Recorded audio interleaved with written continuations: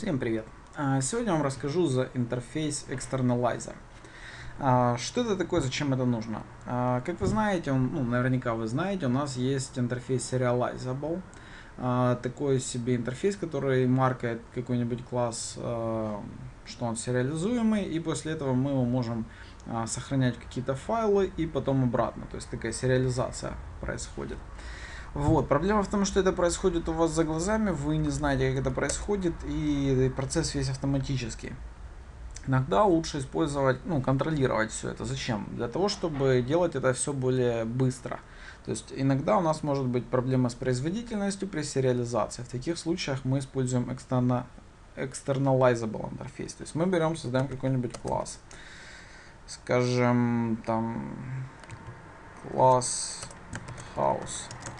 В нем может быть всего лишь одно поле. Rooms.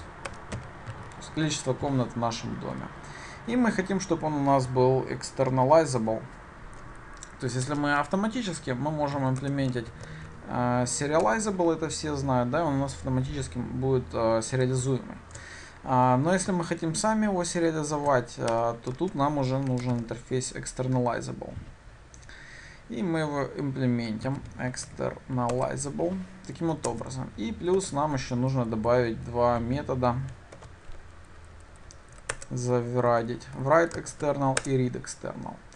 А, которые в свою очередь out у нас позволяет записывать данные. То есть тут есть всякие а, write boolean, write byte, write char, то int. Короче, все примитивные типы можно здесь записывать с помощью него. Вот. Стринги можно записывать с помощью UTF и так далее. Но нам нужно всего лишь интовое значение. Вот мы запишем write integer. И мы наши комнаты сохраним. А здесь то же самое, но мы будем читать. То есть мы возьмем rooms равно in readInt и все. Вот и все, вот и весь наш интерфейс наш класс готов. Теперь мы можем читать. Как вы помните, при сериализации мы используем uh, output stream, не, object output stream, object output stream равно new object. Output stream, в него передаем new uh, file input stream, и в него new file. И какой-нибудь там temp txt. Ой.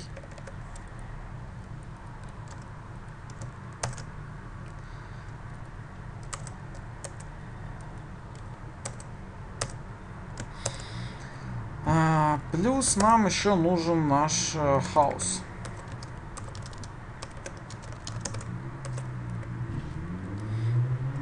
Теперь мы в хаос передаем наш output stream.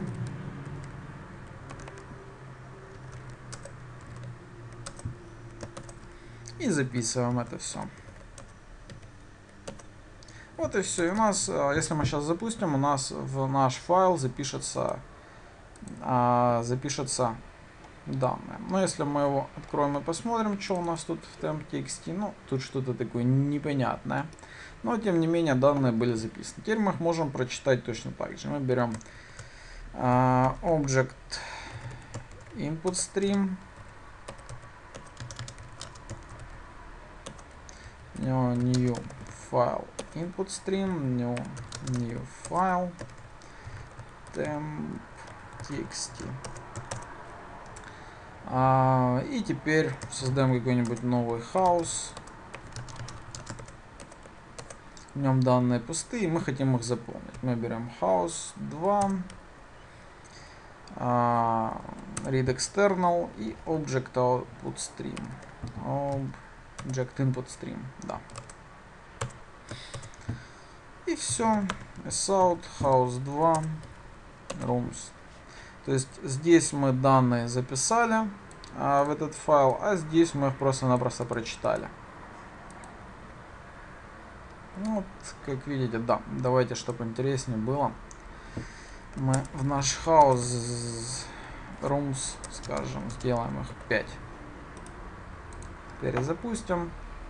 И вот у нас 5, как видите, все совершенно верно прочиталось. Таким вот образом вы можете экстернализировать, короче говоря, сериализовать ручками ваши классы и так далее.